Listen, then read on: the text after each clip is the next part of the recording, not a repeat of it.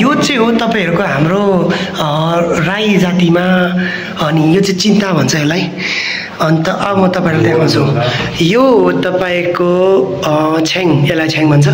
अनि यो हो तपाईँको ढोल यो ढोललाई चाहिँ तपाईँहरूको दुईपट्टिबाट बजाउनुपर्छ होइन?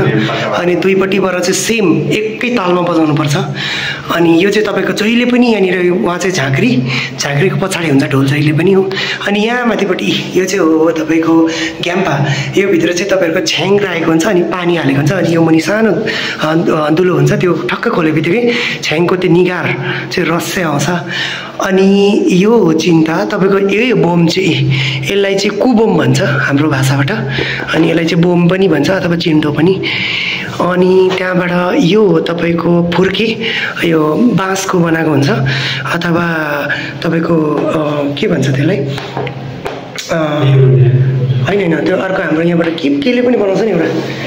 घुङ्ग्रिङ अँ घुङ्ग्रिङको पनि बनाउँछ। यो यो अदुवा यो चामल यो दियो अनि दियोको मुनि पनि चामल राखेको हुन्छ। यो कलश यो कलशमा चाहिँ तपाईँको के के राखेको हुन्छ भन्दाखेरि अम्लिसोको पत्ता अनि कटुस पातले कटुस अनि कटुस दुई प्रकारको हुन्छ एउटा खाने एउटा नखाने ए सरी एउटा फल्ने एउटा नफल्ने।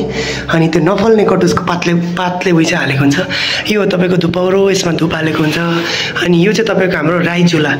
अन्त यो चाहिँ तपाईँको आफ्नो आफ्नो नाम हुन्छ। अनि यो हरेक ढुङ्गाको एउटा एउटा आफ्नो नाम हुन्छ है तिनवटालाई अनि ऊ माथि देखिरहनु भएको यो चाहिँ तपाईँको हो छकरसङ हो खासमा यो छकरसङको त उयो देख्दिनँ डन्ठै देख्दिनँ।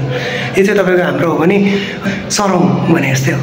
त्यहाँबाट यतापट्टि तपाईँको ढोले यो ढोले यताको पनि ढोले दुईजना ढोले हुन्छ खासमा।